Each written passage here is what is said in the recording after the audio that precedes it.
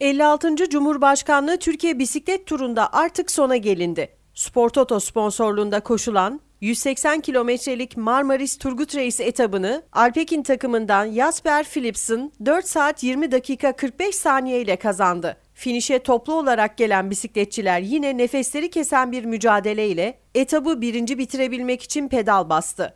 İsrail Up Nation takımından Andre Greipel ikinci, Quick Step takımından Mark Cavendish üçüncü oldu.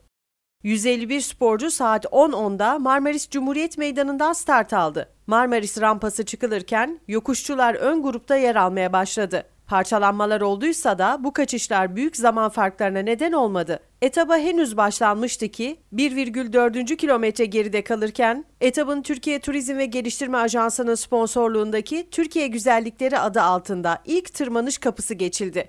Euskaltel Euskadi takımından Julen Irizar Laskurain prim kapısını ilk geçen sporcu oldu. İkinciliği Eolo Cometa Cycling takımından Francesco Gavazzi, üçüncülüğü de Bardiani takımından Alessandro Tonelli elde etti.